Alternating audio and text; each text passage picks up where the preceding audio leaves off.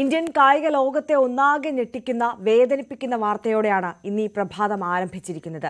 നിർഭാഗ്യം കൊണ്ട് മാത്രം ഇന്നലെ പാരീസ് ഒളിമ്പിക്സ് ഫൈനലിൽ നിന്ന് പുറത്താകേണ്ടി വന്ന നമ്മുടെ എല്ലാം പ്രിയപ്പെട്ട ഗുസ്തി താരം വിനേഷ് ഫോഗട്ട് വിരമിക്കൽ പ്രഖ്യാപിച്ചിരിക്കുന്നു. ഈ വാർത്തയുടെ വിശദാംശങ്ങളിലേക്ക് തന്നെയാണ് നമ്മൾ ആദ്യം കടക്കാൻ പോകുന്നത് മോർണിംഗ് വൈബ്സിൽ. ഭാരത് കൂടുതലിന്റെ പേരിൽ ഒളിമ്പിക്സിൽ നിന്ന് അയോഗ്യയാക്കിയതിന് പിന്നാലെ ഗുസ്തിയിൽ നിന്ന് വിരമിക്കൽ പ്രഖ്യാപിച്ച് വിനേഷ് ഫോഗട്ട്. ഗുസ്തി ജയിച്ചു താൻ തോറ്റു എന്നാണ് വേദനയോടെയുള്ള വിനേഷിന്റെ പോസ്റ്റ്. നിങ്ങളുടെ സ്വപ്നവും തന്റെ ധൈര്യവും തകർന്നതായും വിനേഷ് സാമൂഹിക മാധ്യമത്തിൽ കുറിച്ചു. അതിനിടെ വെള്ളി മെഡൽ പങ്കിടണമെന്നാവശ്യപ്പെട്ട വിനേഷ് കായിക കാര്യങ്ങൾക്കുള്ള ആർബിട്രേഷൻ കോടതിയെ സമീപിച്ചിട്ടുണ്ട്. വിശദാംശങ്ങളുമായി ഇ ആർ രാകേഷാണ് നമുക്കൊപ്പം ചേരുന്നത്. E R good morning. കഴിഞ്ഞ ദിവസവും നമ്മൾ ഈ വാർത്ത അതായത് പാരീസ് ഒളിമ്പിക്സിൽ വിനേഷ് ഫോഗട്ട് അയോഗ്യയാക്കപ്പെട്ടു എന്നുള്ള വാർത്ത വന്നതിന് പിന്നാലെ നമ്മൾ സംസാരിച്ചതാണ്. നമ്മളെയൊക്കെ എത്രത്തോളം വേദനിപ്പിക്കുന്ന ഒരു കാര്യമായിരുന്നു അത് എന്നുള്ളത്. കാരണം അത്രത്തോളം ഹാർഡ് വർക്ക് ചെയ്ത് ഫൈനലിൽ വരെ എത്തി. സെമി ഫൈനൽസിൽ ആധികാരികമായ വിജയം നേടി. കരുത്ത് തെളിയിച്ച് ഫൈനലിൽ എത്തി. നമ്മളൊക്കെ സ്വർണം പ്രതീക്ഷിച്ചിരുന്ന താരമായിരുന്നു. ഇന്ത്യയുടെ അഭിമാനമായിരുന്നു. നിർഭാഗ്യം കൊണ്ട് മാത്രം ആ ഫൈനൽസ് കളിക്കാൻ പറ്റാതെ പുറത്താകേണ്ടി വന്ന വിനേഷിന്റെ ഭാഗത്തു നിന്ന് പക്ഷെ നമ്മൾ ആരും ഈ ഒരു വിരമിക്കൽ പ്രഖ്യാപനം പ്രതീക്ഷിച്ചിരുന്നതല്ല. വൈകാരികമായ ഒരു തീരുമാനം എന്നിതിനെ ഈ ഘട്ടത്തിൽ കണക്കാക്കേണ്ടതുണ്ടോ? Arya good morning. ഇരുപത്തിമൂന്ന് വർഷക്കാലം ജീവിതത്തിന്റെ ഭാഗമായ ഗുസ്തിയോട് വിട പറഞ്ഞിരിക്കുകയാണ് അതും അതിവൈകാരികമായ പോസ്റ്റോടുകൂടി ഹൃദയം തകർന്ന വേദനയോടുകൂടി വിനേഷ് ഫോഗോട്ട് ഏതായാലും വിരമിക്കൽ പ്രഖ്യാപിച്ചിരിക്കുകയാണ്. സാമൂഹ്യ മാധ്യമമായ എക്സിലൂടെയാണ് വിനേഷിന്റെ വിരമിക്കൽ പ്രഖ്യാപനം. അതായത് തനിക്കെതിരായ മത്സരത്തിൽ ഗുസ്തി വിജയിച്ചിരിക്കുന്നു താൻ തോറ്റു. തനിക്ക് ധൈര്യം തന്റെ ധൈര്യം ചോർന്നു പോയിരിക്കുന്നു നിങ്ങളുടെ സ്വപ്നം തകർന്നിരിക്കുന്നു എന്നാണ് വിനേഷ് വേദനയോടെ ഇപ്പോൾ കുറിക്കുകയും ചെയ്തിരിക്കുന്നത്. മാത്രവുമല്ല വിനേഷ് സൂചിപ്പിക്കുന്ന പ്രധാനപ്പെട്ട കാര്യം കൂടുതൽ കാര്യങ്ങൾക്ക് തനിക്ക് ശക്തിയില്ല എന്നുകൂടി അതിൽ വിശേഷിപ്പിക്കുന്നുണ്ട്. ഗുഡ് ബൈ ഗുസ്തി രണ്ടായിരത്തി ഒന്ന് രണ്ടായിരത്തി ഇരുപത്തിനാല് അതായത് വൈകാരികമായ ഒരു തീരുമാനമാകാനുള്ള സാധ്യത കുറവാണ് ആര്യ. കാരണം ഇത് ആലോചിച്ചെടുത്ത തീരുമാനം തന്നെയായിരിക്കും. കാരണം ഒരുപക്ഷെ വിനേഷിന്റെ കരിയറിൽ ഒരുപക്ഷെ അവസാന ഒളിമ്പിക്സ് ആകുമായിരുന്ന ടൂർണമെന്റ് കൂടിയായിരുന്നു ഇത്തവണത്തേത്. കാരണം മുപ്പത് വയസ്സ് തികയാൻ ഇനി ദിവസങ്ങൾ മാത്രമാണ് വിനേഷ് ഫോഗട്ടിന് ഉള്ളത്. അതായത് ഓഗസ്റ്റ് ഇരുപത്തിയഞ്ചിന് മുപ്പതാം പിറന്നാളാണ്. സ്വാഭാവികമായും കരിയറിന്റെ ഒരു പീക്ക് സമയം അവസാനിക്കുന്നു എന്ന തോന്നൽ വിനേഷ് ഫോഗോട്ടിന് തന്നെ ഉണ്ട്. കാരണം ഗുസ്തിയുടെ ഗുസ്തിയിൽ സ്വാഭാവികമായ ഒരു പീക്ക് സമയം എന്ന് പറയുന്നത് ഇരുപത്തി ഇരുപത് മുതൽ ഏതാണ്ട് ഇരുപത്തിയേഴ് വയസ്സ് വരെ പ്രായമാണ്. പക്ഷേ വിനേഷ് ഫോഗട്ട് ഏതായാലും അവരുടെ കരിയറിലെ തന്നെ ഏറ്റവും മികച്ച പ്രകടനം പാരീസിൽ പുറത്തെടുക്കുന്നു. പക്ഷേ അത്തരം ഒരു മികച്ച പ്രകടനം പുറത്തെടുത്തിട്ട് പോലും നിർഭാഗ്യം കൊണ്ട് മാത്രം അവർക്ക് ആ ടൂർണമെന്റിൽ നിന്ന് മെഡൽ ഉറപ്പിച്ചു നിൽക്കുക ഏറ്റവും ചുരുങ്ങിയത് ഒരു വെള്ളി മെഡലെങ്കിലും ഉറപ്പിച്ചു നിൽക്കുക അവർക്ക് നൂറ് ഗ്രാം ഭാരം കൂടി എന്നതിന്റെ പേരിൽ അവർക്ക് പുറത്തു പോകേണ്ടി വരുന്നു. അപ്പോൾ സ്വാഭാവികമായും അത് ആലോചിച്ചെടുത്ത തീരുമാനമാകാനുള്ള സാധ്യതയാണ് കൂടുതൽ. അത് വൈകാരികമാകാനുള്ള സാധ്യത ഇല്ല. ഏതായാലും അത്തരമൊരു പ്രഖ്യാപനം ഇപ്പോൾ വിനേഷ് ഫോഗട്ട് നടത്തിയിരിക്കുന്നു. ഗുസ്തി ജയിച്ചിരിക്കുന്നു. താൻ തോറ്റു. ആ പ്രയോഗത്തിന് തന്നെ വലിയ അർത്ഥങ്ങളുണ്ട്. ഏതായാലും അത്തരമൊരു പ്രഖ്യാപനം വിനേഷ് നടത്തുമ്പോൾ വിനേഷിന് വലിയ പിന്തുണ ഇതിനോടകം തന്നെ ലഭിച്ചിട്ടുണ്ട്. ഇപ്പോൾ ഈ പ്രഖ്യാപനത്തിന് ശേഷവും ഗുസ്തി താരങ്ങളുടെ ഒക്കെ തന്നെ പിന്തുണ ഇതിനോടകം തന്നെ ലഭിക്കുകയും ചെയ്തിട്ടുണ്ട്. ബജ്രംഗ് പൂനിയ വിനേഷിന്റെ ബന്ധുവാണ് മുൻ ഒളിമ്പിക് മെഡൽ ജേതാവാണ് കഴിഞ്ഞ ഒളിമ്പിക്സിൽ ടോക്കിയോ ഒളിമ്പിക്സിലെ വെങ്കല മെഡൽ ജേതാവാണ് ബജ്രംഗ് പൂനിയ അടക്കമുള്ള താരങ്ങൾ. വിനേഷ് നേരത്തെ ഈ സമരരംഗത്തടക്കം വിനേഷിനൊപ്പം പിന്തുണച്ചിരുന്ന വ്യക്തിയാണ് ബജ്രംഗ് പൂനിയ. ഏതായാലും ബജ്രംഗ് പൂനിയ അടക്കമുള്ള താരങ്ങൾ വിനേഷിനെ പിന്തുണച്ചുകൊണ്ട് ഈ ഘട്ടത്തിൽ രംഗത്ത് വന്നിട്ടുണ്ട്. അതായത് യഥാർത്ഥ ചാമ്പ്യനാണ് നിങ്ങൾ നിങ്ങൾ തോറ്റിട്ടില്ല എന്ന് തന്നെയാണ് ഇപ്പോൾ ബജ്രംഗ് പൂനിയ വ്യക്തമാക്കിയിരിക്കുന്നത്. ഇന്ത്യയുടെ മകൾ മാത്രമല്ല ഇന്ത്യയുടെ അഭിമാനം കൂടിയാണ് ബിനേഷ് എന്ന പ്രതികരണമാണ് ബജ്രംഗ് പൂനിയയുടെ ഭാഗത്ത് നിന്നിപ്പോൾ ഉണ്ടായിരിക്കുന്നത്. ഏതായാലും ഏറെ സങ്കടകരമാണ് ഇത്തരത്തിൽ ഒരു താരത്തിന് പുറത്തു പോകേണ്ടി വരുന്നത്. ഇപ്പോൾ സാധാരണഗതിയിൽ വിനേഷ് ഫോഗോട്ട് ആദ്യ മത്സരത്തിനാണ് ഇത്തര ഇത്തരത്തിൽ ഭാരം കൂടുതലിന്റെ പേരിൽ പുറത്തു പോകേണ്ടി വന്നാൽ അത് ആളുകൾക്ക് ജനങ്ങൾക്ക് ഒരുപക്ഷെ വിനേഷ് ഫോഗോട്ടിനും ഉൾക്കൊള്ളാൻ കഴിയുമായിരുന്നു. പക്ഷേ അങ്ങനെ ഒന്നുമല്ല സംഭവിച്ചത്. ആദ്യ ദിവസത്തെ പരിശോധനയിൽ അൻപത് കിലോഗ്രാമിന് താഴെയായിരുന്നു വിനേഷ് ഫോഗോട്ടിന്റെ ഭാരം. ഏതാണ്ട് നാൽപ്പത്തി ഒൻപത് പോയിന്റ് ദശാംശം ഒൻപത് ആയിരുന്നു വിനേഷ് ഫോഗോട്ടിന്റെ ഭാരം. അതെല്ലാം ക്ലിയർ ചെയ്തുകൊണ്ടാണ് വിനേഷ് ഫോഗോട്ട് സെമി ഫൈനലിലും വിജയിച്ച് ഫൈനലിലേക്ക് യോഗ്യത നേടിയത്. ഇത്ര- ഏതായാലും ഫൈനലിന് തൊട്ട് മുമ്പായി ഉള്ള പരിശോധനയിൽ ഇന്നലെ രാവിലെ നടത്തിയ പരിശോധനയിലാണ് ഇത്തരം ഒരു തിരിച്ചടി വിനേഷ് ഫോഗോട്ടിന് ഉണ്ടായിട്ടുള്ളത്. അത് ഒരു സ്വാഭാവികമായും വിനേഷിന്റെ കരിയറിലെ തന്നെ ഏറ്റവും വലിയ തിരിച്ചടിയായി തന്നെ കണക്കാക്കാം. അതുകൊണ്ട് കൂടി തന്നെയായിരിക്കും വിനേഷ് ഫോഗോട്ട് ഏതായാലും ഇത്തരം ഒരു തീരുമാനത്തിലേക്ക് ഇപ്പോൾ ഏതായാലും കൈക്കൊണ്ടിരിക്കുന്നത്. ഇരുപത്തിമൂന്ന് വർഷം തന്റെ ഭാഗമായ ജീവിതത്തിന്റെ ഭാഗമായ ഗുസ്തിയോട് വിട പറഞ്ഞിരിക്കുന്നു എന്ന പ്രഖ്യാപനം ഏതായാലും ഈ ഘട്ടത്തിൽ വിനേഷ് ഫോഗട്ട് നടത്തിയിരിക്കുകയാണ് ഏതായാലും ഇനി വിനേഷ് ഫോഗട്ടിന് മുന്നിൽ അവശേഷിക്കുന്ന ഒരു പ്രധാനപ്പെട്ട വഴി സി എ എസിനെ അതായത് കായിക കാര്യങ്ങൾക്കുള്ള ആർബിട്രേഷൻ കോടതിയെ വിനേഷ് ഫോഗോട്ട് ഇതിനോടകം തന്നെ സമീപിച്ചിട്ടുണ്ട് അതിൽ വ്യക്തമാക്കുന്ന ചൂണ്ടിക്കാണിക്കുന്ന കാര്യം ആദ്യം ഈ ഹർജി നൽകിയിരുന്നത് ഈ അപേക്ഷ നൽകിയിരുന്നത് സ്വർണ മെഡലിനായുള്ള മത്സരം വീണ്ടും നടത്തണമെന്നൊരു ആവശ്യം വിനേഷ് ഫോഗോട്ട് മുന്നോട്ട് വെച്ചിരുന്നു. ഏതായാലും അത് ഇപ്പോൾ അവശേഷിക്കുന്നില്ല. ആ മത്സരം പൂർത്തിയായിരിക്കുന്നു. വിനേഷ് ഇന്നലെ എതിരേണ്ടി എതിരിടേണ്ടിയിരുന്ന യു എസിന്റെ സാറായൻ ആ മത്സരത്തിൽ വിജയ വിജയിക്കുകയും ചെയ്തു. വിനേഷിന് പകരം വിനേഷ് സെമി ഫൈനലിൽ തോൽപ്പിച്ച ക്യൂബൻ താരം ഗുസ്മൻ ആണ് വിനേഷിനെ അയോഗ്യയാക്കിയെ തുടർന്ന് ഫൈനലിലേക്ക് യോഗ്യത നേടിയിരുന്നത്. അവർ ഏതാണ്ട് മൂന്ന് പോയിന്റിന് അവരെ പരാജയപ്പെടുത്തിയിരിക്കുന്നു യു എസ് താരം. സ്വാഭാവികമായും ഫൈനൽ നടക്കുകയും ആ മത്സരത്തിൽ വിജയം പ്രഖ്യാപിക്കുകയും ചെയ്തു. അതുകൊണ്ട് തന്നെ ഒരു പുതുക്കിയ അപേക്ഷ വിനേഷ് നൽകുകയും ചെയ്തിരുന്നു ചെയ്തിരുന്നു. ആ അപേക്ഷയിൽ ചൂണ്ടിക്കാണിച്ചിരിക്കുന്ന പ്രധാനപ്പെട്ട കാര്യം വെള്ളി മെഡൽ പങ്കിടണമെന്നൊരു ആവശ്യമാണ് വിനേഷ് ഫോഗോട്ട് മുന്നോട്ട് വെച്ചിരിക്കുന്നത്. അതായത് സ്വാഭാവികമായും ഗുസ്മൻ ഇപ്പോൾ വെള്ളി മെഡൽ ജേതാവാണ്. ഗുസ്മാന്റെ വെള്ളി മെഡൽ നൽകുമ്പോൾ തന്നെ തനിക്ക് കൂടി ആ വെള്ളി മെഡലിന് അവകാശമുണ്ട്. അങ്ങനെ വെള്ളി മെഡൽ പങ്കിടണമെന്നൊരു ആവശ്യം ഈ അപേക്ഷയിൽ വിനേഷ് ഫോഗട്ട് ചൂണ്ടിക്കാണിച്ചിട്ടുണ്ട്. സി എ എസ് ഏതായാലും അക്കാര്യത്തിൽ ഒരു തീരുമാനം ഇന്ന് പ്രഖ്യാപിക്കും എന്നാണ് അറിയിച്ചിട്ടുള്ളത്. ഏതായാലും അതാണ് ആ, ഇയാറ് അപ്പോൾ ഈ കായിക തർക്ക പരിഹാര കോടതിയുടെ തീരുമാനം അത് എപ്പോഴത്തേക്ക് ഉണ്ടാകും എന്നുള്ളതാണ് നമ്മൾ മനസ്സിലാക്കേണ്ടത്. ഇന്നുണ്ടാകുമെന്ന അറിയിപ്പാണ് ഇത് ഇതിനോടകം തന്നെ വന്നിട്ടുള്ളത് ആര്യ. കാരണം ഇന്നലെയാണ് ഈ അപേക്ഷ നൽകുന്നത്. ഈ അപേക്ഷ നേരത്തെ സൂചിപ്പിച്ച പോലെ ആദ്യം മത്സരം നടത്തണമെന്നൊരു ആവശ്യം മുന്നോട്ട് വെക്കുന്നത് രണ്ടാമതായി ആ മത്സരം പൂർത്തിയാകുന്ന ഒരു ഘട്ടം അതായത് വിനേഷിനെ അയോഗ്യയായി പ്രഖ്യാപിച്ചു. മറ്റൊരു താരത്തെ പകരം ആ ഫൈനലിലേക്ക് റീപ്ലേസ് ചെയ്യുന്നു. അപ്പോൾ പുതുക്കിയ അപേക്ഷ വിനേഷ് ഫോഗട്ട് നൽകുകയാണ്. ആ അപേക്ഷയിലാണ് ഇക്കാര്യം ചൂണ്ടിക്കാണിക്കുന്നത്. അതായത് വെള്ളി മെഡൽ പങ്കിടണം എന്നൊരു ആവശ്യം മുന്നോട്ട് വെക്കുന്നത്. ഏതായാലും അപ്പോൾ ആർബിട്രേഷൻ കോടതിയുടെ തീരുമാനം എന്താകും എന്നുള്ളത് നിർണായകമാണ്. അതാണ് ഈ അവശേഷിക്കുന്ന ഏക വഴി.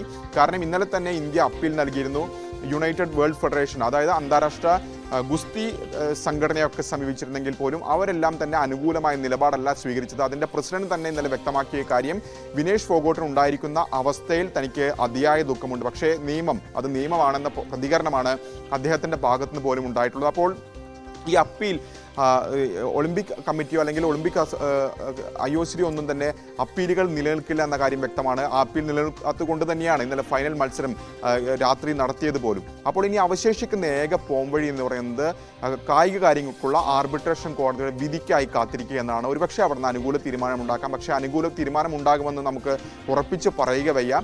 തിരിച്ചും അതായത് ഇപ്പോൾ കൈക്കൊണ്ടിരിക്കുന്ന ഒളിമ്പിക് കമ്മിറ്റി അന്താരാഷ്ട്ര ഒളിമ്പിക് കമ്മിറ്റി കൈക്കൊണ്ടിരിക്കുന്ന തീരുമാനം അംഗീകരിക്കാം. ഏതായാലും അവശേഷിക്കുന്ന ഒരു വഴി ഇപ്പോൾ വിനേഷ് ഫോഗട്ട് സ്വീകരിച്ചിരിക്കുന്നു. അതിലെന്താണ് തീരുമാനം എന്ന് അറിയാൻ കാത്തിരിക്കാം. ഏതായാലും അതിനിടയിൽ തന്നെയാണ് വിനേഷ് ഇത്തരം ഒരു പ്രഖ്യാപനം നടത്തിയിരിക്കുന്നത്. താൻ വിരമിക്കുന്നു ഗുസ്തിയോട് വിട പറയുന്നു എന്ന് അറിയിക്കുകയും ചെയ്തിട്ടുള്ളത് തീർച്ചയായും. ഇയാൾ സൂചിപ്പിച്ചതുപോലെ തന്നെ എന്തായാലും നമ്മളെയൊക്കെ നിരാശപ്പെടുത്തിക്കൊണ്ട് വിരമിക്കൽ പ്രഖ്യാപനം വിനേഷ് ഫോഗട്ട് നടത്തിയിരിക്കുകയാണ്. ഫോഗട്ടിന് വെള്ളിയെങ്കിലും കിട്ടുമോ എന്നുള്ളതാണ് ഇനി നമ്മൾ നോക്കിക്കാണുന്ന കാര്യം. കായിക തർക്ക പരിഹാര കോടതിയുടെ തീരുമാനം ഇന്നുണ്ടാകും എന്നുള്ളതാണ്. എന്തായാലും ആ വാർത്ത ആ കോടതിയുടെ തീരുമാനം അത് എങ്ങനെ വരും എന്നുള്ളത് നമ്മൾ ആകാംക്ഷയോടെ ഉറ്റുനോക്കുകയാണ്. ഇയാർ പോരാട്ട വീര്യത്തിന്റെ ഒരു ഉദാത്ത മാതൃക എന്നതൊക്കെ അത്തരത്തിലൊക്കെ നമ്മൾ പല ഘട്ടങ്ങളിലും വിശേഷിപ്പിച്ച ഒരു താരം കൂടിയാണ് വിനേഷ്. കഴിഞ്ഞ രണ്ട് ഒളിമ്പിക്സിലും വിനേഷിന് നിർഭാഗ്യം കൊണ്ട് മാത്രം ഈ മെഡൽ നഷ്ടമായത് അല്ലെങ്കിൽ ആ മത്സരത്തിൽ നിന്ന് പുറത്താകേണ്ടി വന്ന സാഹചര്യമൊക്കെ നമ്മൾ കണ്ടതാണ്. പക്ഷേ ഇത്തവണ ഒരു സ്വർണത്തിളക്കം ഇന്ത്യയുടെ ഗോൾഡൻ ഗേൾ എന്ന് നമ്മൾ വിശേഷിപ്പിക്കുന്ന താരം ഒരു ഗോൾഡൻ മെഡലുമായിട്ട് രാജ്യത്തേക്ക് മടങ്ങി വരുന്നത് കാത്തിരുന്ന നമ്മളെയാണ് ഇന്നലെ ആ ഒരു നിരാശാജനകമായ വാർത്ത തേടിയെത്തിയത്. ഇതിലിപ്പോൾ വിനേഷിന്റെ ടീമിനെ അടക്കം കോച്ചിനെയും മറ്റ് അസിസ്റ്റിംഗ് ടീമിനെയും അടക്കം വലിയ വിമർശനം ഉന്നയിക്കുന്നുണ്ട് രാജ്യത്തെ പ്രതിപക്ഷ പാർട്ടികളടക്കം. ഏത് തരത്തിലാണ് രാജ്യത്തെ റെസ്ലിംഗ് അസോസിയേഷൻ അടക്കം ഈ വിഷയത്തെ നോക്കിക്കാണുന്നത്? ആരുടെ ഭാഗത്തെ വീഴ്ച എന്നുള്ള തരത്തിലാണ് ഇതിനെ നോക്കിക്കാണുന്നത്? ഒപ്പം പ്രതിപക്ഷം വലിയ പ്രതിഷേധം നിരത്താൻ വേണ്ടി പ്രതിഷേധം ഉന്നയിക്കാൻ വേണ്ടിയിട്ടുള്ള നീക്കവും ആരംഭിച്ചിട്ടില്ലേ? ആര്യ എന്ത് സംഭവിച്ചു എന്ന് എന്നത് ഇക്കാര്യത്തിൽ ഒരു കൃത്യമായ പ്രതികരണം നടത്തേണ്ടത് വിനേഷ് ഫോഗട്ടാണ്. കാരണം ഇത് എന്തൊക്കെ കാര്യങ്ങൾ കൃത്യമായി സംഭവിച്ചു എന്ന് അറിയാനുള്ള അറിയാവുന്ന ഒരു താരം വിനേഷ് ഫോഗട്ടായിരിക്കും. സ്വാഭാവികമായി അത്തരമൊരു പ്രതികരണത്തിലേക്ക് വിനേഷ് ഫോഗട്ട് ഇതുവരെ കടന്നിട്ടില്ല. പക്ഷേ അപ്പോൾ പോലും ആര്യ സൂചിപ്പിച്ച പോലെ ചോദ്യം അവശേഷിക്കുന്നുണ്ട്. ഇത്തരത്തിൽ അന്താരാഷ്ട്ര തലത്തിൽ ഒരു മത്സരം നടക്കുമ്പോൾ ഇത്തരത്തിൽ ഭാരം സംബന്ധിച്ച കാര്യങ്ങളെല്ലാം തന്നെ ഈ അധികൃതർക്ക് അറിയാവുന്നതല്ലേ എന്നൊരു ചോദ്യം അവശേഷിക്കുന്നുണ്ട്. കാരണം സാധാരണഗതിയിൽ ഇത്തരം ഗുസ്തി താരങ്ങൾ ഈ ഭാരം നിയന്ത്രിച്ചു നിർത്തുക പതിവാണ്. കാരണം കഠിനമായ അധ്വാനം സ്വാഭാവികമായും ചെയ്യേണ്ടി വരും. വിനേഷ് ഫോഗോട്ടിന്റെ കാര്യം എടുക്കുകയാണെങ്കിൽ തന്നെ അവർക്ക് മൂന്ന് മത്സരങ്ങൾ ഉണ്ടായിരുന്നു. ആ മത്സരത്തിന് തൊട്ട് മുമ്പുള്ള ഭാര പരിശോധനയിൽ അവർക്ക് അൻപത് കിലോഗ്രാം അല്ല നേരത്തെ പറഞ്ഞതുപോലെ നാൽപ്പത്തി ഒൻപത് ദശാംശം ഒൻപതാണ് അവരുടെ ഭാരം. അതിനുശേഷം മൂന്ന് മത്സരങ്ങൾ നടക്കുന്നു. പ്രീ ക്വാർട്ടർ നടക്കുന്നു. അതിനുശേഷം ക്വാർട്ടർ നടക്കുന്നു. അതിനുശേഷം സെമി ഫൈനൽ നടക്കുന്നു. ഈ മൂന്ന് മത്സരങ്ങൾക്കും വലിയ അധ്വാനം സ്വാഭാവികമായും കായിക താരങ്ങൾ എടുക്കേണ്ടി വരും. വിനേഷിന്റെ കാര്യത്തിലും അത് തന്നെ സംഭവിച്ചിട്ടുണ്ട്. അതിനുശേഷം ഈ താരങ്ങൾ ലഘുഭക്ഷണവും വെള്ളവും കുടിക്കും. അപ്പോൾ അത്തരത്തിൽ ഭക്ഷണം കഴിക്കുമ്പോൾ ഭാരം ഉയരുമെന്ന് അറിയാവുന്നതാണ് ആ, അല്ലെങ്കിൽ അവർക്ക് അറിയാത്ത കാര്യമല്ല എന്ന് തന്നെ പറയേണ്ടിയിരിക്കുന്നു. അതാണ് ഇപ്പോൾ അധികൃതരടക്കം പറഞ്ഞിരിക്കുന്നത്. ഒന്നര കിലോ ഭക്ഷണമാണ് സാധാരണഗതിയിൽ വിനേഷ് ഫോഗോട്ടിന് ഒരേ ദിവസം നൽകാറുള്ളത്. അത്തരത്തിൽ ഭക്ഷണം നൽകുമ്പോൾ തന്നെ ആ ഭാരം നിയന്ത്രിച്ചു നിർത്താൻ കഴിയും കഴിയുമായിരുന്നു എന്നാണ് ഇപ്പോൾ അധികൃതർ ഇന്ത്യൻ അധികൃതർ ഈ ക്യാമ്പിലുള്ള അധികൃതരൊക്കെ തന്നെ പ്രതികരിച്ചിരിക്കുന്നത് പക്ഷേ അതിനുശേഷം ഇന്ത്യൻ ക്യാമ്പിൽ ഈ ഭക്ഷണത്തിനൊക്കെ ശേഷം ഇന്ത്യൻ ക്യാമ്പിൽ ഭാരം അളന്നപ്പോഴാണ് അത് അൻപത്തിരണ്ട് ദശാംശം ഏഴ്. അതായത് നിശ്ചയിച്ച പരിധിയേക്കാൾ രണ്ട് കിലോ എഴുന്നൂറ് ഗ്രാം വർധന രേഖപ്പെടുത്തിയിരിക്കുന്നത്. അതിനുശേഷമാണ് ഈ വെയിറ്റ് കുറയ്ക്കാനുള്ള ശ്രമങ്ങളൊക്കെ തന്നെ കഠിനമായി തന്നെ വിനേഷ് ഫോഗോട്ട് നടത്തിയത്. രാത്രി ഉറങ്ങാതെ സൈക്ലിംഗ് ചെയ്യുന്നു. അതിനുശേഷം സ്കിപ്പിംഗ് ചെയ്യുന്നു ജോഗിംഗ് ചെയ്യുന്നു തുടങ്ങിയ കാര്യങ്ങളൊക്കെ തന്നെ ചെയ്യുന്നത് ഇന്നലെ പി ടി ഉഷയുടെ പ്രതികരണത്തിൽ പോലും പറഞ്ഞത് മുടി മുറിക്കുക പോലും ചെയ്തിട്ടുണ്ട്. എങ്കിൽ പോലും നൂറ് ഗ്രാം കൂടുതൽ ഉണ്ടായി. കൂടുതൽ വന്നു. അത് കുറയ്ക്കാൻ കഴിഞ്ഞില്ല എന്ന പ്രതികരണമാണ് അധികൃതരുടെ ഭാഗത്തുനിന്ന് ഉണ്ടായിട്ടുള്ളത് സ്വാഭാവികമായും ഇക്കാര്യത്തിൽ ആദ്യ പ്രതികരണം അല്ലെങ്കിൽ പ്രഥമ ഒറ്റ നോട്ടത്തിൽ തന്നെ ഇക്കാര്യത്തിൽ മറുപടി പറയേണ്ട വ്യക്തികൾ വിനേഷിനൊപ്പമുള്ള സപ്പോർട്ടിംഗ് സ്റ്റാഫ് ഒപ്പം തന്നെ കോച്ച് തുടങ്ങിയവരാണ്. അവരാണ് ഇക്കാര്യത്തിൽ ഒരു വിശദമായ മറുപടി പറയേണ്ടത്. കാരണം ഒരു താരം മെഡൽ ഉറപ്പിച്ചു നിൽക്കുമ്പോൾ അതും ഒളിമ്പിക്സ് പോലൊരു വേദിയിൽ മെഡൽ ഉറപ്പിച്ചു നിൽക്കുമ്പോൾ അധികൃതരുടെ ഭാഗത്ത് നിന്ന് ഇത്തരത്തിലൊരു വീഴ്ച ഉണ്ടായി എന്ന് തന്നെ ഇക്കാര്യത്തിൽ പ്രഥമ ദൃഷ്ടിയാണ് നമുക്ക് പറയാൻ സാധിക്കും. ഏതായാലും അത്തരം കാര്യങ്ങളിലേക്കൊക്കെ തന്നെ പരിശോധന കടക്കുമെന്നാണ് അറിയിച്ചിട്ടുള്ളത്. ഗുസ്തി ഫെഡറേഷൻ ഒരു പ്രതികരണം നടത്തിയിട്ടുണ്ട്. പക്ഷേ ഗുസ്തി ഫെഡറേഷനും വിനേഷ് ഫോഗോട്ടും തമ്മിലൊരു നല്ല ബന്ധമല്ല ഉള്ളത് എന്നുകൂടി ഇതിനോട് കൂട്ടി വായിക്കേണ്ടതുണ്ട് എന്നതും ഒരു പ്രധാനപ്പെട്ട അത് കാര്യമാണ് തന്നെയാണ് ഈ ആറ്. ഇപ്പോൾ ഇങ്ങനെ ഒരു വാർത്ത വന്നതിന് പിന്നാലെ കഴിഞ്ഞ ദിവസം സോഷ്യൽ മീഡിയയിൽ അടക്കം വലിയ ചർച്ചയാകുന്ന ഒരു കാര്യവും അതാണ്. ബ്രിജ്ഭൂഷണെതിരായി വിനേഷ് ഫോഗട്ട് അടക്കം ഗുസ്തി താരങ്ങൾ തെരുവിലിറങ്ങി നടത്തിയ പ്രതിഷേധം അതിന് രാഷ്ട്രീയമായി അദ്ദേഹത്തിന് ഉണ്ടാക്കിയ നഷ്ടം അതൊക്കെ ചർച്ചയാകുന്ന ഒരു സാഹചര്യം. ഇതിലൊക്കെയും അത്തരത്തിലുള്ള കളികൾ കൂടി ഉണ്ട് എന്നുള്ളത് ഒരു വിഭാഗം ആളുകൾ വിമർശിക്കുകയോടി ചെയ്യുന്നുണ്ട് അല്ലേ? അതെ ആര്യ. നിലവിലെ സാഹചര്യത്തിൽ ഉസ്തി ഫെഡറേഷൻ ഏതെങ്കിലും തരത്തിൽ ഇടപെടൽ ഉണ്ട് എന്ന് നമുക്ക് പറയാൻ സാധിക്കില്ല. കാരണം നമ്മുടെ കയ്യിൽ അത്തരത്തിലുള്ള തെളിവുകളില്ല. അത്തരമൊരു തെളിവുകൾ എവിടെയും പുറത്തു വന്നിട്ടില്ല. പക്ഷേ ആളുകൾ ഈ സംശയിക്കുന്ന സാഹചര്യത്തിൽ പ്രത്യേകിച്ച് കഴിഞ്ഞ ഒരു വർഷത്തെ കാലത്തെ സംഭവ വികാസങ്ങൾ ഗുസ്തി ഫെഡറേഷൻ വിനേഷിനോടക്കം സ്വീകരിച്ച നിലപാട് പാരീസ് ഒളിമ്പിക്സിലേക്ക് പോകുന്ന മുമ്പ് ഒരു ദേശീയ ദിനപത്രത്തിന് വിനേഷ് ഫോഗട്ട് നൽകിയ അഭിമുഖം അതെല്ലാം കൂട്ടി വായിക്കുമ്പോൾ എന്തെങ്കിലും സംശയം സാധാരണക്കാർക്കുണ്ടായാൽ അതിൽ തെറ്റു പറയാനും കഴിയില്ല. അതാണ് സാഹചര്യം. കാരണം വിനേഷ് ഫോഗട്ട് അന്ന് നൽകിയ അഭിമുഖത്തിൽ വിനേഷ് ഫോഗട്ട് തന്നെ പറയുന്നുണ്ട് തന്നെ പാരീസിലേക്ക് പോകാതിരിക്കാൻ ഗുസ്തി ഫെഡറേഷൻ പരമാവധി ശ്രമിക്കുന്നു എന്നൊരു പ്രതികരണമാണ് അന്ന് വിനേഷ് ഫോഗട്ട് നടത്തിയത്. അപ്പോൾ ഇപ്പോൾ സംഭവിച്ചിരിക്കുന്ന കാര്യങ്ങളിൽ എന്തെങ്കിലും അട്ടിമറി ഉണ്ടെന്ന് സാധാരണക്കാർക്ക് തോന്നിയാൽ അവരെ കുറ്റം പറയാൻ കഴിയില്ല. കാരണം കഴിഞ്ഞ ഒരു വർഷക്കാലത്തിനിടയിൽ ഉണ്ടായിട്ടുള്ള സംഭവ വികാസങ്ങൾ അതാണ് സൂചിപ്പിക്കുന്നത്. ഏതായാലും ഗുസ്തി ഫെഡറേഷൻ ഈ ഘട്ടത്തിൽ പറഞ്ഞിട്ടിരിക്കുന്ന പ്രധാനപ്പെട്ട കാര്യം ഇക്കാര്യത്തിൽ ഒളിമ്പിക്സ് കഴിഞ്ഞ് മടങ്ങിയെത്തിയാൽ എന്ത് സംഭവിച്ചു എന്ന കാര്യത്തിൽ ഒരു അന്വേഷണം ഉണ്ടാകുമെന്ന് ഗുസ്തി ഫെഡറേഷൻ അധ്യക്ഷൻ സഞ്ജയ് സിംഗ് അടക്കമുള്ളവർ വ്യക്തമാക്കുകയും ചെയ്തിട്ടുണ്ട്. അത് ഏത് നിലയിലുള്ള അന്വേഷണമായിരിക്കും? അതെന്തായിരിക്കും? അതിന്റെ റിസൾട്ട് തുടങ്ങിയ കാര്യങ്ങളൊന്നും തന്നെ പറയുക വ്യക്തമല്ല. ഏതായാലും അത്തരമൊരു പ്രഖ്യാപനമൊക്കെ നടത്തിയിട്ടുണ്ട്. അപ്പോൾ പോലും ഈ അന്വേഷണമൊക്കെ നടക്കെങ്കിൽ പോലും ഉറപ്പിച്ചിരുന്ന മെഡൽ വിനേഷ് ഫോഗോട്ടിന് നഷ്ടപ്പെട്ടിരിക്കുന്നു. അത് തിരിച്ചു കിട്ടാനുള്ള വഴി ഏതായാലും നിലവിലില്ല. അതിൽ അവശേഷിക്കുന്ന പോം വഴിയാണ് ഇപ്പോൾ വിനേഷ് ഫോഗോട്ട് തേടിയിരിക്കുകയും ചെയ്തത്. അതായത് കായിക കാര്യങ്ങൾക്കുള്ള ആർബിട്രേഷൻ കോടതിയെ സമീപിച്ചിരിക്കുന്നത് ഏതായാലും ആ തീരുമാനം ഉച്ചയോടുകൂടി ഉണ്ടാകുമെന്ന് ആ തീരുമാനത്തെ. ആകാംക്ഷയോടെ കാത്തിരിക്കുകയാണ് നമ്മൾ എല്ലാവരും ഇ ആർ രാകേഷാണ് വിവരങ്ങൾ നൽകിക്കൊണ്ടിരിക്കുന്നത്. രാകേഷിലേക്ക് ഞാൻ മടങ്ങി വരാം. ഇപ്പോൾ ശ്രീ അൻസാർ എസ് രാജ് സ്പോർട്സ് ലേഖകൻ നമുക്കൊപ്പം ചേരുകയാണ്. ശ്രീ അൻസാർ കഴിഞ്ഞ ദിവസം നമ്മൾ സംസാരിച്ചപ്പോൾ അത്രത്തോളം വേദന നമുക്ക് എല്ലാവർക്കും ഉണ്ടായിരുന്നു ഈ ഒരു ഫൈനൽ മത്സരത്തിൽ ആ ഒരു ഗോൾഡൻ പ്രതീക്ഷയിലേക്ക് വിനേഷിന് എത്താൻ കഴിഞ്ഞില്ല. നിർഭാഗ്യം അവരെ ചതിച്ചു എന്നുള്ളതൊക്കെ നമ്മൾ സംസാരിച്ചതാണ്. പക്ഷേ ഈ ഒരു വിരമിക്കൽ പ്രഖ്യാപനം അത് തീർത്തും അപ്രതീക്ഷിതമായിരുന്നു. വൈകാരികമായി പോയ ഒരു തീരുമാനമാണ് എന്ന് പലരും വിമർശിക്കുക കൂടി ചെയ്യുന്നു ഈ ഘട്ടത്തിൽ. താങ്കൾ എങ്ങനെ നോക്കിക്കാണുന്നു? അല്ല ഇതൊരു വൈകാരികമായിട്ട് എടുത്തിരിക്കുന്ന ഒരു തീരുമാനമാണ്. പക്ഷെ അതൊരു നേരത്തെ ആയി പോയി എന്ന് പറയാൻ കഴിയില്ല. കാരണം. ആഗസ്റ്റ് ഇരുപത്തി അഞ്ചാം തീയതി ഈ മാസം ഇരുപത്തി അഞ്ചാം തീയതി മുപ്പത് വയസ്സ് കഴിഞ്ഞു മുപ്പത് വയസ്സ് എന്ന് പറയുന്നത് ഒരു താരത്തെ സംബന്ധിച്ചിടത്തോളം ചെറിയ പ്രായമല്ല. മൂന്ന് ഒളിമ്പിക്സുകൾ അവർ പങ്കെടുത്തു കഴിഞ്ഞു. പിന്നെ ഒരു കായിക താരത്തിനെ സംബന്ധിച്ചിടത്തോളം ഉള്ളത് ഏഷ്യൻ ഗെയിംസും കോമൺവെൽത്ത് ഗെയിംസുമാണ്. ഏഷ്യൻ ഗെയിംസിൽ ചാമ്പ്യൻ ആയിരുന്നു കോമൺവെൽത്ത് ഗെയിംസിൽ ചാമ്പ്യൻ ആയിരുന്നു. ലോക ചാമ്പ്യൻഷിപ്പിൽ പിന്നെ മത്സരിച്ച് മെഡൽ നേടിയിട്ടുണ്ട്. ലോക ഒന്നാം റാങ്ക് താരവുമായിരുന്നു വിനേഷ്. അപ്പോ കരിയറിൽ നേടേണ്ട എല്ലാവിധത്തിലുള്ള എല്ലാ ചാമ്പ്യൻഷിപ്പുകളിലും എല്ലാ മത്സരവേദികളിലും ഒളിമ്പിക്സ് ഒഴികെ വിജയിക്കാൻ കഴിഞ്ഞ ഒരു കായിക താരമാണ്.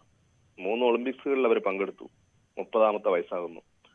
മുപ്പത്തിനാലാമത്തെ വയസ്സിൽ പോയി മെഡൽ മേടിക്കാൻ കഴിയുമെന്ന് വിനേഷിന് ഒരിക്കലും തോന്നുന്നില്ല. നമുക്ക് വൈകാരികമായി തോന്നും നാല് വർഷം കഴിഞ്ഞാൽ അടുത്ത ഒളിമ്പിക്സ് ഉണ്ടാവുമല്ലോ. പക്ഷെ ഈ നാല് വർഷം കായികക്ഷമത നിലനിർത്തുക എന്ന് പറയുന്നത് വളരെ പ്രധാനപ്പെട്ട ഒരു കാര്യമാണ്. വിനേഷിനെ സംബന്ധിച്ചിടത്തോളം ഒരു വർഷം മുമ്പ് ഒരു വർഷം മുമ്പാണ് അവസാനമായിട്ട് പരിക്കിൽ നിന്ന് പരിക്കേറ്റു അതിന് ചികിത്സകളും കാര്യങ്ങളൊക്കെ നടത്തി തിരിച്ചു വന്നത്. രണ്ടായിരത്തി പതിനാറ് റിയോ ഒളിമ്പിക്സിൽ ക്വാർട്ടർ ഫൈനലിൽ അവരുടെ കാൽ പോയതിനു ശേഷം പിന്നെ അവർക്ക് കളിക്കാൻ കഴിയില്ല എന്നുള്ള ഒരു ഘട്ടം വന്നതാണ്. പിന്നീട് ചികിത്സ നടത്തി തിരിച്ചു വന്നതാണ്. അപ്പൊ ശരിക്കും ഒരുപാട് പരിക്കുകൾ അനുഭവിച്ച ഒരു ശരീരമാണത്. ആ ഒരു ശരീരത്തിൽ നിന്ന് നാല് വർഷം കൂടെ കാത്തിരിക്കാനുള്ള കായികക്ഷമത ഉണ്ടാവില്ല എന്നുള്ള തിരിച്ചറിവ് ശരിക്കും വിനേഷിന് ഉണ്ടായത് കൊണ്ടാണ് വിനേഷ് ഇത് വിരമിക്കൽ പ്രഖ്യാപിച്ചതെന്ന് നമുക്ക് പറയേണ്ടി വരും.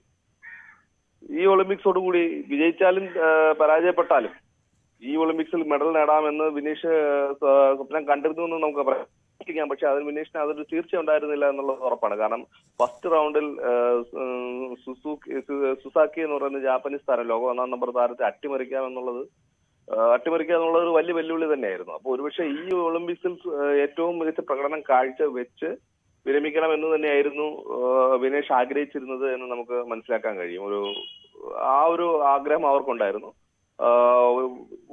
വളരെ സങ്കടകരമായിട്ടുള്ള ഒരു രീതിയിലേക്ക് കാര്യങ്ങൾ പോയി എന്നുള്ളതാണ് യാഥാർത്ഥ്യം. സങ്കടകരമായ രീതി എന്ന് പറഞ്ഞാൽ മെഡലിന് തൊട്ടരികിലെത്തിയിട്ട് അത് ഏറ്റുവാങ്ങാനുള്ള യോഗമില്ലാതെ പോയി വിനേഷിന്.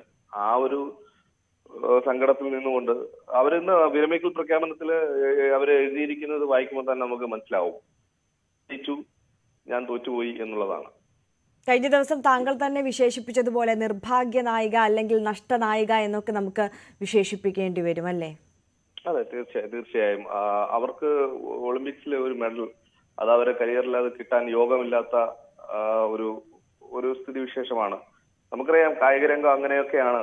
എത്രയൊക്കെ മികച്ച താരമായാൽ പോലും ഒരു പ്രധാനപ്പെട്ട സമയത്ത് ആ സമയത്ത് മികവ് കാണിക്കാൻ കഴിഞ്ഞില്ലെങ്കിൽ അതുവരെയുള്ള കരിയറിൽ ഉണ്ടാക്കിയെടുത്തിട്ടുള്ള ആ ഒരു നേട്ടങ്ങളും ഒക്കെ ആ ഒരു സങ്കടമായിട്ട് അവസാനിക്കുന്ന ഒരു കാഴ്ചയാണ്.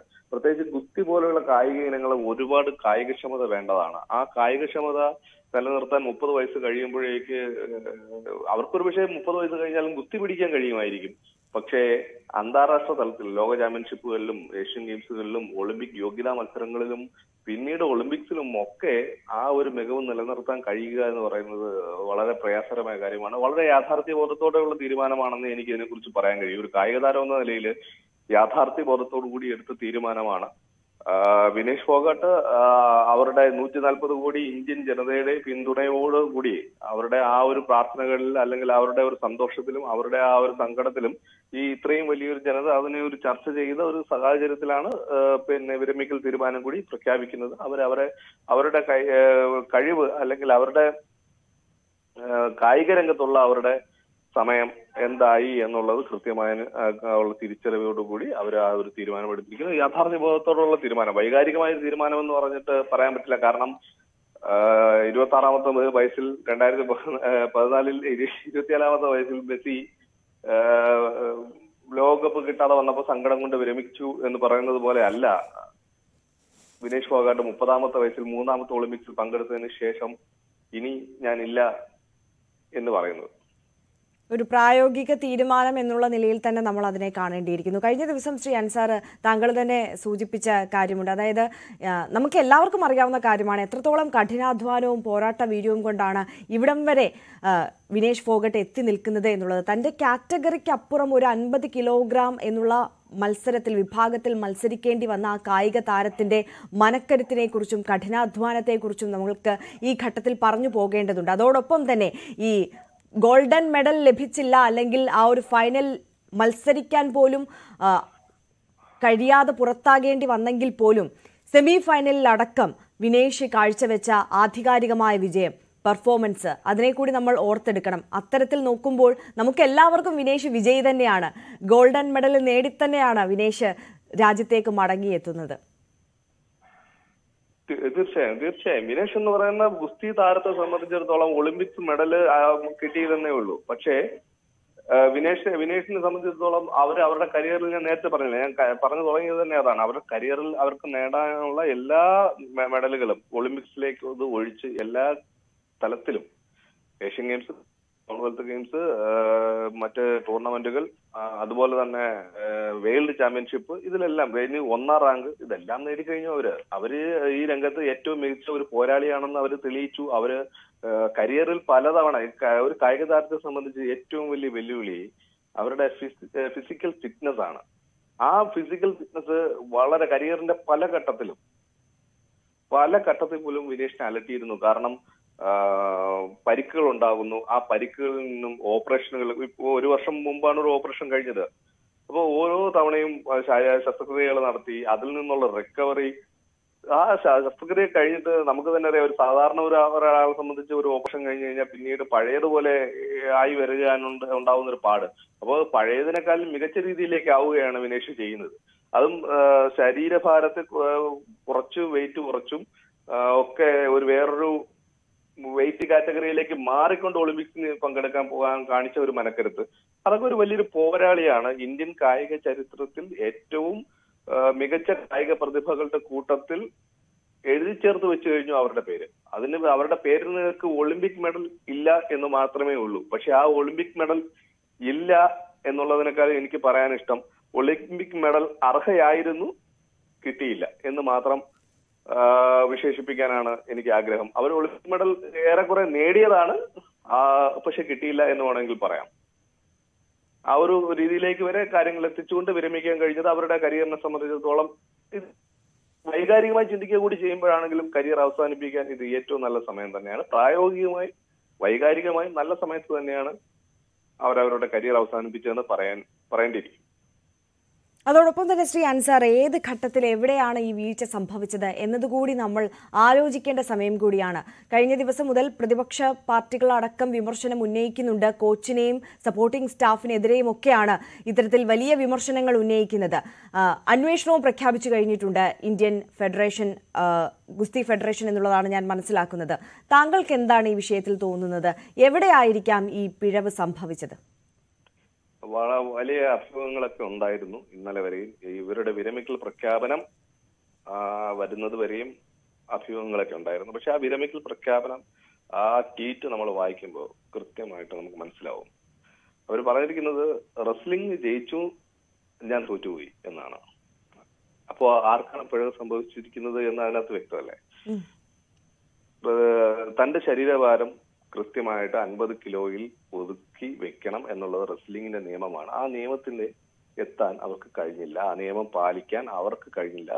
മീൻസ് അത് വിനേഷ് എന്ന് പറയുന്ന കായിക താരത്തിന് മാത്രമല്ല വിനേഷ് എന്ന് പറയുന്ന കായിക താരത്തെ മത്സരിപ്പിക്കുന്ന വിനേഷ് വിനേഷിന്റെ coach വിനേഷിന്റെ supporting staff Indian Olympic association ഇവരുടെ എല്ലാം കൃത്യമായിട്ടുള്ള ഒരു പിഴവ് തന്നെയായിട്ട് ഇതിനെ പറയാൻ പറ്റും. അതല്ലാതെ ഇതിന് പിന്നെ സംഘാടകരോ അല്ലെങ്കിൽ മറ്റാരെങ്കിലുമോ പുറമേ നിന്നുള്ള ആരെങ്കിലും ചതിച്ചെന്നോ അങ്ങനെ ഒരു ഒരു രീതിയിലേക്കൊന്നുമല്ല അവർ പറഞ്ഞത്. ആ നിയമങ്ങൾക്കനുസരിച്ച് റെസ്ലിംഗിന്റെ നിയമങ്ങൾക്കനുസരിച്ചിട്ട് എനിക്ക് പങ്കെടുക്കാൻ പറ്റിയില്ല. ഞാൻ തോറ്റുപോയി. റെസ്ലിംഗ് വിജയിച്ചു. ഞാൻ തോറ്റു. ശാസ്ത്രം ജയിച്ചു മനുഷ്യൻ തോറ്റു എന്ന് പറയുന്ന കണക്ക് ആണ് അവർ പറഞ്ഞത്. അതായത് അവരുടെ പിഴവുകൾ സമ്മതിക്കുന്ന രീതിയിലാണ്. ഇത് നമ്മളൊരു കാര്യം മനസ്സിലാക്കണം. അൻപത് കിലോ വിഭാഗത്തിലാണ് മത്സരിക്കുന്നതെങ്കിൽ ഒരു കായിക താരവും അൻപത് കിലോയിലായിരിക്കും അൻപത് കിലോയിൽ ചിലപ്പോൾ ഒന്നോ രണ്ടോ കിലോ കൂടുതലായിരിക്കാം. അത് മത്സരത്തിന് തൊട്ടു മുമ്പ് ആ ഭാരം ഷെഡ് ചെയ്ത് കളയാം എന്നുള്ള ആത്മവിശ്വാസമാണ് അവരെ ആ ഒരു രീതിയിലേക്ക് അങ്ങനെ ആ ഒരു ഭാരം ശരീരഭാരം മെയിന്റെയിൻ ചെയ്യുന്നത്. കാരണം ശരീരഭാരം കൊടുത്തു കഴിഞ്ഞു കഴിഞ്ഞാൽ സ്വാഭാവികമായിട്ടും ശരീരഭാരം കൂടിയാലും കുഴപ്പമില്ല. അടുത്ത മത്സരത്തിന് തൊട്ട് മുമ്പ് പിറ്റേ ദിവസം ശരീരഭാരം കൊടുക്കുന്നത്. അപ്പോൾ ഈ വെയിറ്റ് ലോസ് ചെയ്യുക എന്ന് പറയുന്നത് ഇവരെ കായിക താരങ്ങളെ സംബന്ധിച്ചിടത്തോളം അതൊരു റൊട്ടീനാണ് അത് പെട്ടെന്നൊരു ദിവസം വന്നിട്ട് ശരീരഭാരം കുറയ്ക്കുന്നത് കണക്കല്ല. അവർ എല്ലാ മത്സരങ്ങൾക്ക് മുമ്പും കൃത്യമായിട്ട് രണ്ടു ദിവസം മുമ്പ് ട്രെയിനിങ് ചെയ്ത് ഒരു കിലോ അല്ലെങ്കിൽ ഒന്നര കിലോ രണ്ട് കിലോ അനുസരിച്ചുള്ള ട്രെയിനിങ് ചെയ്ത് കുറയ്ക്കും. പക്ഷേ ഇവ ഒന്നുകിൽ ആ ശരീരഭാരം അത്ര കൂടും എന്നുള്ള ഒരു കണക്കൂട്ടൽ അനുസരിച്ച് അല്ല അവർക്ക് ഭക്ഷണം നൽകിയിരുന്നത്. അല്ലെങ്കിൽ ആ ഭക്ഷണം കഴിച്ചാലും ഇത്ര കുറയ്ക്കാൻ കഴിയും എന്നുള്ള അവരുടെ ഒരു കണക്കൂട്ടലിനനുസരിച്ചുള്ള വർക്കൗട്ടിന്റെ ഫലം കണ്ടില്ല. അതിന് ഒരു പക്ഷെ അവരുടെ മാനസിക നില ശാരീരിക നില ഇതൊക്കെ വളരെ പ്രാധാന്യം ഉണ്ടായിരുന്നിരിക്കാം. അപ്പൊ എന്താണ് എന്നുള്ളത് അവിടെ സംഭവിച്ചു എന്നുള്ളത് പറയാനുള്ള ആദ്യത്തെ വ്യക്തി വിനേഷ് ഫോഗ് വിനേഷ് കോച്ചുമാണ്. അന്വേഷണങ്ങളൊക്കെ വരുമ്പോൾ ആദ്യം ഇവരെ തന്നെ കേന്ദ്രീകരിച്ചിട്ടായിരിക്കും അന്വേഷണം വരുന്നത്. ഇവരുടെ മൊഴിയാണല്ലോ ആദ്യം എടുക്കേണ്ടത്. എന്ത് സംഭവിച്ചു എന്ന് ഇവർ പറയണം. അതിനുശേഷം നമുക്ക് അതിനെക്കുറിച്ച് വ്യക്തമായ ഒരു ധാരണ കിട്ടും. ശ്രീ അൻസാറെ വിനേഷിനെ സംബന്ധിച്ച് ഈ അൻപത് കിലോഗ്രാമിൽ ഒതുങ്ങി നിൽക്കുക എന്നുള്ളത് എത്രത്തോളം വെല്ലുവിളി നിറഞ്ഞ ഒരു കാര്യമായിരുന്നു? അമ്പത് കിലോയിൽ ഒതുക്കി നിൽക്കുക എന്ന് പറയുന്നതിന്റെ വെല്ലുവിളി വിനേഷിന്റെ ശരീരത്തിന്റെ ഉയരം നൂറ്റി അൻപത്തി ഒമ്പത് സെന്റിമീറ്റർ ആണ് നൂറ്റി അൻപത് സെന്റിമീറ്റർ അമ്പത്തൊൻപത് സെന്റിമീറ്റർ ഉള്ള ഒരാളെ സംബന്ധിച്ചിടത്തോളം അൻപത് kilo bio body mass index വെച്ച് നോക്കുമ്പോഴത്തേക്ക് അതൊരു നോർമലിന്റെ ബ്രിമ്മിലാണ്. എന്ന് വെച്ച് കഴിഞ്ഞാൽ ശരീരഭാരം ഒരു ശാരീരികമായിട്ടുള്ള ഉപാപചയ പ്രവർത്തനങ്ങളും ഒക്കെ ഒരു നോർമൽ മനുഷ്യന് നടക്കണമെങ്കിൽ അവർക്ക് അവർക്കൊരു അൻപത് കിലോയ്ക്ക് മേളിൽ എന്തായാലും ഉണ്ടായിരിക്കണം. അതൊരു കായിക താരത്തെ പോലെ ഇത്രയും വർക്കൗട്ട് ചെയ്യുന്ന ഇത്രയും ഫിസിക്കൽ ആക്ടിവിറ്റി ചെയ്യുന്ന ഇത്രയും കായികക്ഷമത എൻഡുറൻസ് ഒക്കെ വേണ്ട ഒരാൾക്ക് ഈ നല്ല ഭക്ഷണം കഴിക്കേണ്ടി വരും. ഈ നല്ല ഭക്ഷണം കഴിക്കുമ്പോഴത്തേക്ക് ശരീരത്തിൽ ആ ഭക്ഷണം അബ്സോർബ് ചെയ്യും. അബ്സോർബ് ചെയ്യുമ്പോൾ അത് വെയിറ്റ് സ്വാഭാവികമായിട്ട് കൂടും. ആ വെയിറ്റ് കുറയ്ക്കാൻ ട്രെയിനിങ് നടത്തും എക്സർസൈസ് ചെയ്യും. അപ്പം അവരെ സംബന്ധിച്ചിടത്തോളം അൻപത്തിമൂന്ന് കിലോ ഐഡിയൽ ആയിരുന്നു. അവരുടെ പൊക്കത്തിനൊക്കെ അനുസരിച്ച് അൻപത്തിമൂന്ന് കിലോ ഒരു ഐഡിയൽ വെയിറ്റ് ആയിരുന്നു. കാരണം അൻപത്തഞ്ച് ആറ് അമ്പത്തി ആറ് കിലോ വരെ പോയാലും മൂന്ന് കിലോ രണ്ട് കിലോ ഒക്കെ മത്സര സമയത്തേക്ക് വരുമ്പോഴത്തേക്ക് കുറച്ചിട്ട് ആ മത്സരത്തിലേക്ക് ഇറങ്ങാൻ പറ്റുന്ന ഒരു സിറ്റുവേഷൻ അവർക്ക് അമ്പത്തിമൂന്ന് കിലോ ഐഡിയൽ ആയിരുന്നു. പക്ഷേ ഈ അമ്പത്തിമൂന്ന് കിലോയിൽ ഇന്ത്യയിൽ നിന്നും അന്തിം പങ്കൽ എന്ന് പറയുന്ന കുട്ടി ഒളിമ്പിക്സിന് യോഗ്യത നേടി. ഈ അന്തിം പങ്കൽ എന്ന് പറയുന്ന കുട്ടി അമ്പത്തി അമ്പത്തിമൂന്ന് കിലോയിൽ നിന്ന് മാറ്റാൻ കഴിയില്ലല്ലോ. കാരണം ഒരാൾ ഒരു ഒരു വെയിറ്റ് കാറ്റഗറിയിൽ ഒളിമ്പിക്സ് യോഗ്യതയൊക്കെ നേടിക്കഴിഞ്ഞാൽ പിന്നെ അയാൾക്ക് അതിന് പോകാനുള്ള അവസരം കൊടുക്കണമല്ലോ. അതുമല്ല അന്തിം മംഗൽ എന്ന് പറയുന്ന കുട്ടിയാണ് ഏഷ്യൻ ഗെയിംസിന് ഈ കഴിഞ്ഞ കഴിഞ്ഞ ഹാൻജോ ഏഷ്യൻ ഗെയിംസിന് വിനേഷ് ഫോഗട്ടിന് പിന്നെ സമര സമയത്ത് അവർ സമരം ചെയ്തുകൊണ്ട് ഇരുന്നതുകൊണ്ട് അവർക്ക് ഏഷ്യൻ ഗെയിംസിന് സെലക്ഷൻ ട്രയൽസ് കൂടാതെ ഓപ്പൺ ആയിട്ട് നിങ്ങൾ അവസരം കൊടുത്തു. രാഷ്ട്രീയ ശരികൾ ഭയന്നിട്ട് റെസ്ലിംഗ് ഫെഡറേഷൻ അവരുടെ മുഖം രക്ഷിക്കാൻ വേണ്ടിയിട്ട് ഏഷ്യൻ ഗെയിംസിന് പോകാൻ പറഞ്ഞു. അപ്പം ആ, ഒരു സമയത്ത് വിനേഷ് ഫോഗാട്ടിനെതിരെ കോടതിയിൽ പോയ കുട്ടിയാണ് അന്തിമംഗൽ കോടതി ഡൽഹി ഹൈക്കോടതി പോയ കുട്ടിയാണ്.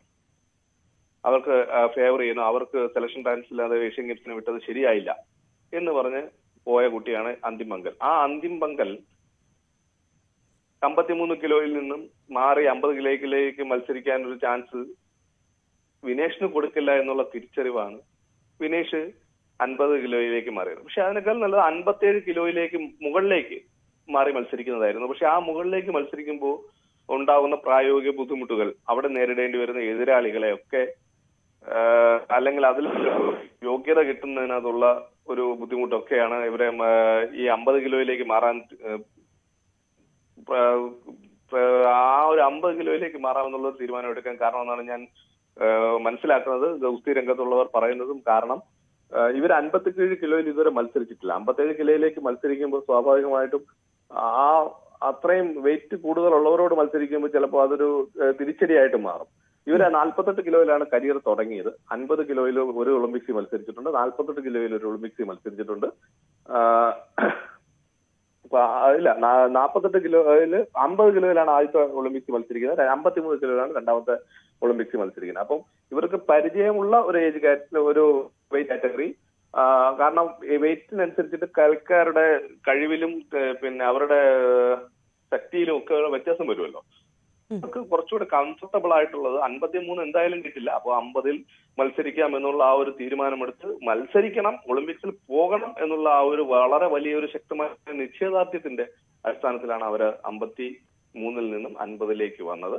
ആ അൻപത് കിലോയിൽ അവർ ഒളിമ്പിക്സിൽ മൂന്ന് റൗണ്ട് വിജയിക്കുക എന്ന് പറയുന്നതാണ് അവരെ സംബന്ധിച്ചിടത്തോളം മെഡൽ. അതെ. അത് ഏറ്റവും വലിയ വെല്ലുവിളി തന്നെയായിരുന്നു ആ വെല്ലുവിളിയെ അത് വിജയകരമായി അവർ നേരിട്ടു. ഈ ഒളിമ്പിക്സിൽ പരാജയപ്പെട്ടല്ല ആ, തീർച്ചയായും. വളരെ നന്ദി ശ്രീ അൻസാർ ഈ നിമിഷം ഞങ്ങളോടൊപ്പം ചേർന്നതിനും പ്രതികരിച്ചതിനും. ഞാൻ ഇ ആർ രാഗേഷിലേക്ക് ഒരിക്കൽ കൂടി പോവുകയാണ്. രാഗേഷ് അൻസാർ സൂചിപ്പിച്ചതുപോലെ തന്നെ വിജയി തന്നെയാണ് നമ്മളെ സംബന്ധിച്ച് ഗോൾഡ് മെഡൽ വിജയിച്ച് തന്നെയാണ് വിനേഷ് മടങ്ങിയെത്തുന്നത്. എന്തായാലും കായികപരമായി ആ ഒരു ഒളിമ്പിക് മെഡൽ യാഥാർത്ഥ്യം മനസ്സിലാക്കുമ്പോൾ വെള്ളി മെഡലെങ്കിലും കിട്ടുമോ എന്നുള്ളതാണ് ഇനി നമ്മൾ ആകാംക്ഷയോട് ഉറ്റുനോക്കുന്നത്. രാജ്യം ഒന്നാകെ വിനേഷിന് പിന്തുണയുമായി ഒപ്പമുണ്ട്. പ്രധാനമന്ത്രിയും രാഷ്ട്രപതിയും പ്രതിപക്ഷ നേതാവും മറ്റ് രാഷ്ട്രീയ പ്രതിനിധികളും ഒപ്പം സെലിബ്രിറ്റീസ് അടക്കം ഇന്നലെയൊക്കെ ഇത്തരത്തിൽ വിനേഷിന് അഭിവാദ്യം അർപ്പിച്ചുകൊണ്ട് രാജ്യം ഒപ്പമുണ്ട് എന്ന ഉറക്കെ വിളിച്ചു പറഞ്ഞുകൊണ്ടുള്ള പോസ്റ്റുകളൊക്കെ നമ്മൾ സോഷ്യൽ മീഡിയയിൽ കണ്ടതാണ്. എന്തായാലും കായിക തർക്ക പരിഹാര കോടതിയുടെ വിധി ആകാംക്ഷ ആകാംക്ഷയോടെ കാത്തിരിക്കുകയാണ് നമ്മളല്ലേ? അതെ ആര്യ കായിക തർക്ക പരിഹാര കോടതിയുടെ തീരുമാനം ഇന്നുണ്ടാകും. നേരത്തെ പറഞ്ഞതുപോലെ വിനേഷ് ഫോഗോട്ട് അപ്പീൽ നൽകിയിരുന്നു. ആദ്യം മത്സരം നടത്തണമെന്നൊരു ആവശ്യം അത് ഫൈനൽ മത്സരം നടത്തണമെന്നൊരു ആവശ്യമായിരുന്നെങ്കിൽ ആ പുതുക്കിയ അപേക്ഷയിൽ ചൂണ്ടിക്കാണിക്കുന്ന കാര്യം വെള്ളി മെഡൽ പങ്കിടണം എന്നാണ് വിനേഷ് ഫോഗോട്ട് വ്യക്തമാക്കിയിരിക്കുന്നത്. അതായത് ഫൈനൽ മത്സരം നടന്നിരിക്കുന്നു. ക്യൂബൻ താരം ഗുസ്മാൻ അവിടെ വെള്ളി മെഡൽ ജേതാവായിരിക്കുന്നത് സ്വാഭാവികമായും ആദ്യ ദിവസത്തെ ഭാരപരിശോധനയിൽ വിനേഷ് ഫോഗട്ട് അത് ക്ലിയർ ചെയ്തതാണ്. അൻപത് കിലോയ്ക്ക് താഴെയായിരുന്നു വിനേഷ് ഫോഗട്ടിന്റെ ഭാരം. അപ്പോൾ സ്വാഭാവികമായും അത്തരമൊരു വീഴ്ച ആദ്യം മുതൽ ഉണ്ടായിട്ടില്ല. ഈ അവസാനത്തെ ഭാരപരിശോധനയിൽ മാത്രമാണ് ഇത്തരം ഭാര കൂടുതൽ ഉണ്ടായിട്ടുള്ളത്. അപ്പോൾ അതുകൊണ്ട് തന്നെ വെള്ളി മെഡൽ പങ്കിടണം ഗുസ്മനുമായി പങ്കിടണം എന്നൊരാവശ്യം ഏതായാലും വിനേഷ് ഫോഗട്ട് ഇപ്പോൾ മുന്നോട്ട് വെച്ചിരിക്കുന്നു. അതിലേതായാലും ഇന്ന് തീരുമാനം ഉണ്ടാകുമെന്നാണ് കോടതി പറഞ്ഞിരിക്കുന്നത്. അവസാന ഒരു ഉപാധി അല്ലെങ്കിൽ അവസാന വഴിമാണ് അത്. അതിൽ ഒരു അന്തിമ തീരുമാനം അനുകൂലമാവുകയാണെങ്കിൽ ഇപ്പോൾ നിലവിൽ വെള്ളി മെഡൽ ജേതാവായ ക്യൂബൻ താരത്തിനൊപ്പം വിനേഷ് ഫോഗോട്ടും വെള്ളി മെഡൽ ജേതാവായിക്കൊണ്ടുള്ള പ്രഖ്യാപനം വരും. ആരുടെയും മെഡൽ നഷ്ടമാകുന്നില്ല. അതല്ല നിലവിൽ ഒളിമ്പിക് കമ്മിറ്റി കൈക്കൊണ്ടിരിക്കുന്ന അയോഗ്യത അത് അപ്പാടെ അംഗീകരിക്കുകയാണ് ആർബിട്രേഷൻ കോടതി സ്വീകരിക്കുന്നതെങ്കിൽ വിനേഷ് ഫോഗട്ടിന് മുമ്പിൽ മറ്റു വഴികളില്ല എന്നതാണ് സാഹചര്യം. ഏതായാലും കോടതി വിധി വിധി എന്തായിരിക്കും എന്ന ആകാംക്ഷയുണ്ട്. അതറിയാൻ കാത്തിരിക്കുകയാണ് ഏവരും. ആര്യ. തീർച്ചയായും. ഇ ആർ രാകേഷാണ് വിവരങ്ങൾ നൽകിയത്. എന്തായാലും ഇന്ത്യ കണ്ട ഏറ്റവും മികച്ച ഒരു കായിക താരത്തിന്റെ കരിയർ ആണ് ഇവിടെ അവസാനിക്കുന്നത് എന്നുകൂടി നമുക്ക് പറയേണ്ടി വരും. എന്തായാലും